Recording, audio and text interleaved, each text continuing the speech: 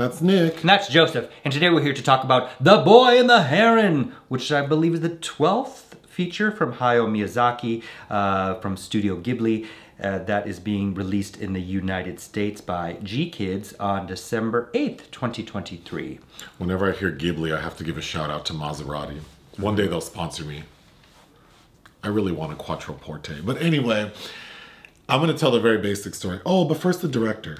Uh, Miyazaki. Uh, you are familiar, you've seen Spirited Away, which I maintain is his best film.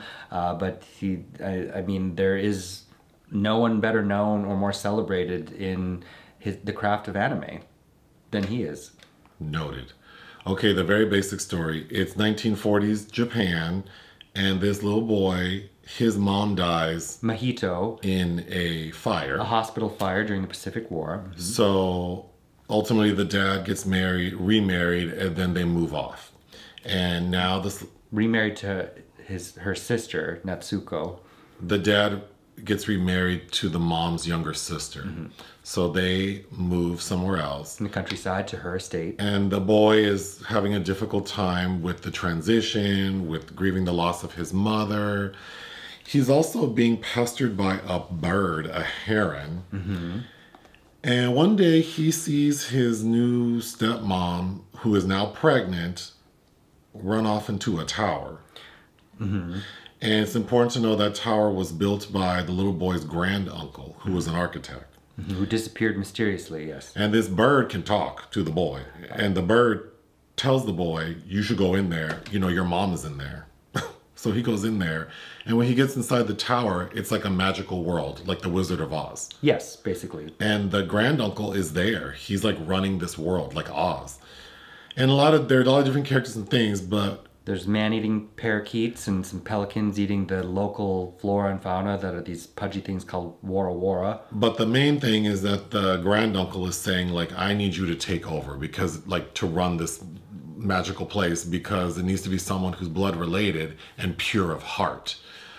But the boy decides he's not going to do it because he's not pure of heart. Earlier in the story, he had injured himself, like, deliberately with a rock. Mm-hmm. to try to tell a story that like he's being bullied and also he wants to go back home but so that is what's happening in the magical world but also he meets like the younger version of his mother mm-hmm. And he's telling her like why don't you come with me? And she's like i can't. I have to live In my alternate in my reality, alternate life or else you won't ever be born. So he ends up going back and the end. And the heron, who's kind of combative, says one day you're going to forget about this, and and that's all we, we. They go back into their world, and there's some narration that says two years after the war ended, we moved back to Tokyo. what do you think the moral of this story is? Uh, I think it's about well, my pull quote oh this review is all over the place Uh, Miyazaki's potential swan song returns to grim subtext in this increasingly strange fantasy about loss, grief, and transitioning in the sorrow- sorrowful world of adulthood. okay Uh, but yeah, I, I think it's it's about kind of giving up your selfish, childish ways. But this this is a, a weird story for sure. It's actually based on a 1937 book of the same name, who I believe the author, when Miyazaki, this because Miyazaki's been working on this since his last film, like 2013, uh, and it's probably.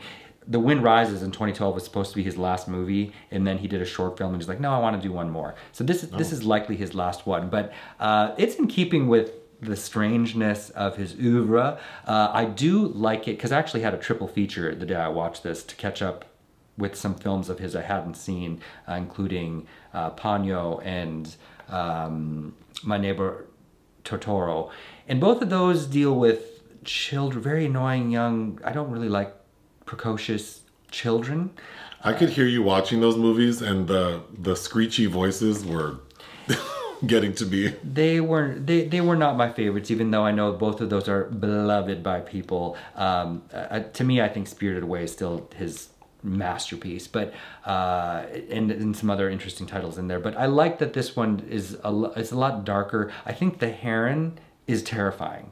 It because as it starts to appear and it starts to speak to him, uh, you see teeth like big choppers in it, and then you realize there's this little troll-like man living inside the heron. Uh, but it, it is very much like Wizard of Oz in scope. Um, and I think that if you are a fan of Miyazaki, then of course you're going to like this because there's all the signature animated flourishes using the same uh, cinematographer he's, who I believe has worked with him since Porco Rosso. Um, but yeah, I, I, I don't know. It's entertaining. I would recommend seeing it in a theater. Uh, the fact that it's his last film, I think, makes it feel a little more imperative than it might otherwise be. But I do, I mean, I thought The Wind Rises was really dry. So this is giving you something to feast on if you're a fantasy hound. What else you got there? Uh, that's about it. What would you give? Oh, and, and the weirdness of the dad marrying his aunt, and then he's gonna be having a cousin, brother or sister. Uh, I I feel like there are more interesting things that I would have rather pushed if I were writing the narrative, but uh, But you aren't Blanche. but uh, but I'm not. Yeah, what would you give this movie? three. Out of five. Yeah. Anything else? No. Hit the thanks button. Listen to our podcast. Bye.